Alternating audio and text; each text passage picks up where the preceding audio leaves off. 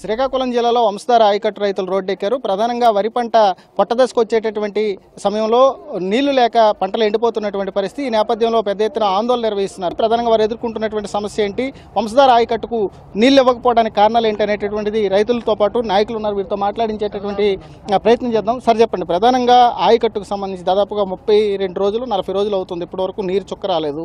రైతులు ఆందోళన చెందుతున్నారు. పంటలు ఎండిపోతున్నాయి. ఏం చెప్తారు ప్రభుత్వానికి కానీ అధికారులకు?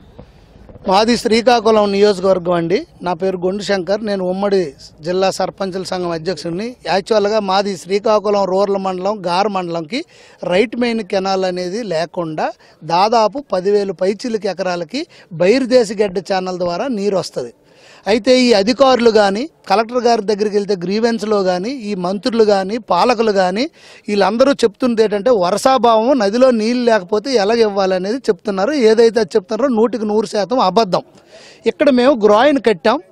గ్రాయిన్కి కన్ కనీసం పన్నెండు చిన్న గేట్లలాగా వదలడం జరిగింది. దాంట్లో సగం కప్పితే ఈ గ్రావిటేషనల్ ఫోర్స్ ద్వారా ఈ ఇక్కడ మొగ అయితే ఏదైతే మొగ ఉందో ఈ బైర్దేశ గడ్డకి నీరు వెళ్ళి పదివేల ఎకరాలకు నీరు వస్తుంది.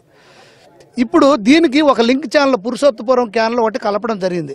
ఆ నీరు ఏదో వస్తుంది కొద్దిగా ఒక అడుగు ఎత్తు వస్తుందంటే ఆ నీరు రివర్స్ వస్తుంది. రివర్స్ ఎందుకు వస్తుందంటే గుర్రపు డెక్క విపరీతంగా బలిసేసింది. అందుకే నేను ఇరిగేషన్ మంత్రి అక్కడ కూర్చొని నువ్వు మల్లెపూలు కాదయ్యా ఇక్కడ మల్లెపూలు పండించుకో ఈ గడ్డలో వచ్చని అడుగుతున్నాను.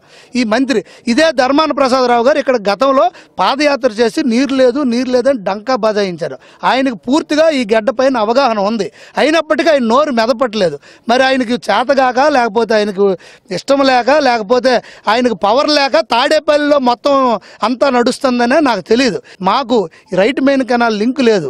పదివేల ఎకరాలు. ఇక్కడ భూ భూకంపం తలపిస్తుంది ఇక్కడ పరిస్థితి. వేలాది మంది రైతులు ఈరోజు ఆత్మహత్య చేసుకునే పరిస్థితి.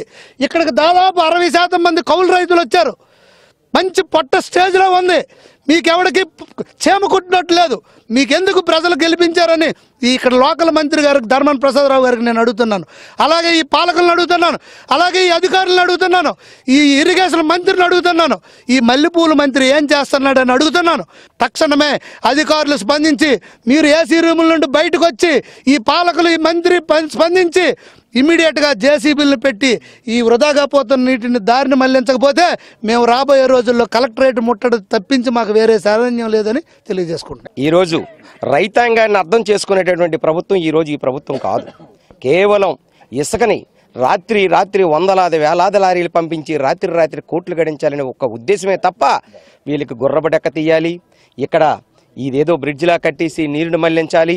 ఇటువంటి ఆలోచన ఈ ప్రభుత్వానికి లేదు ఈ నాయకులకు లేదు. పేద ప్రజల తాలూకు పొట్ట కొట్టే విధంగా ఉన్నారు తప్ప ఈరోజు ప్రజలకి పొట్టొచ్చినటువంటి పరిస్థితి. ఈ వేలాది ఎకరాలు ఈరోజు పొట్టతో ఎండిపోతుంటే వర్షాలు లేక ఈరోజు పాలకులు మినిమం స్పందించకుండా కళ్ళు తెరవకుండా ఈరోజు పరిపాలన చేయడం ఇంత రాష్ట్రంలో ఇలాంటి దౌర్భాగ్యం. వెనుకబడిన జిల్లాకి ఇంత అన్యాయం జరగడం ఎక్కడా చూడలేదు.